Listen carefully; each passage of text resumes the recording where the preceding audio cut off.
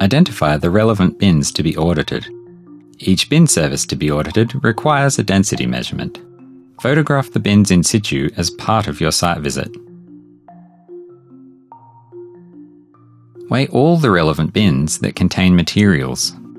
Check that the scale platform is not touching the wall or ramp and that the scales have been properly tared to zero. Place the bin on the scales correctly with all wheels on the platform. Ensure that the bin is not leaning on anything and that no one is touching the bin before taking the measurement. Record each bin weight and volume in litres or cubic metres. Measure and record these values for every bin to be audited. It can be useful to categorise this information by bin service. Weigh the empty bins. You are trying to find the typical weight of an empty bin for every service at this location. Bins of the same type might weigh differently depending on when or how they were made or any accumulated damage or residue. Weigh each bin after it is emptied and calculate the average weight.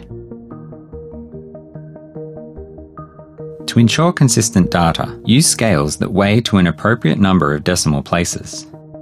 Make sure scales read zero before each measurement. Follow correct weighing procedures for every bin. Record all weight in kilograms. Note whether the weights are generally consistent within each bin service. Perform all the required calculations, then input the results on the audit page of the NABERS Waste platform.